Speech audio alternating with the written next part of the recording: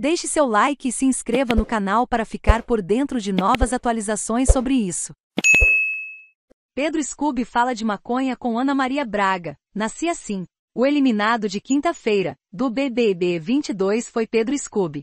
Com 55,95% dos votos, o surfista saiu do reality e passou a manhã desta sexta-feira, 22 de abril, no café da manhã com Ana Maria Braga, no Mais Você. Durante o bate-papo, Ana Maria falou do fato de conhecermos melhor quem é o Scooby, citando ter ciência de que ele não fuma maconha. Leia mais.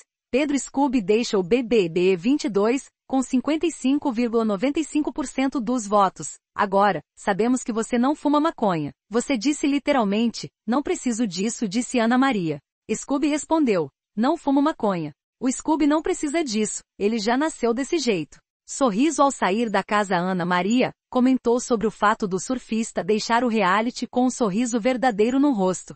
Scooby falou sobre sua essência. Leia mais. BBE 22. Cíntia de quer abre o jogo sobre apagões de Scooby e uso de substâncias ilícitas. Eu acho que pude mostrar nesses três meses como sou na minha essência, nas minhas relações, como penso sobre a vida. Quando sai pensei em todas as coisas boas pela vivência, tudo que aprendi ali. Sempre levei a vida curtindo meus filhos, viajando, e nunca parei para refletir sobre a minha vida. Entrei sem saber o que me esperava, mas de fato, nunca olhei para a vitória almejando ganhar. Claro que todo mundo gostaria de 1,5 milhão na conta, risos. Mas me sinto vitorioso com tudo que ganhei ali. Minha amizade com Pará e DG é algo que ninguém vai apagar. Campeão nas ruas sem dormir direito desde que saiu da casa mais vigiada do país, Scooby revelou que tem escutado a palavra campeão, por onde passa. Leia mais. BBB 22.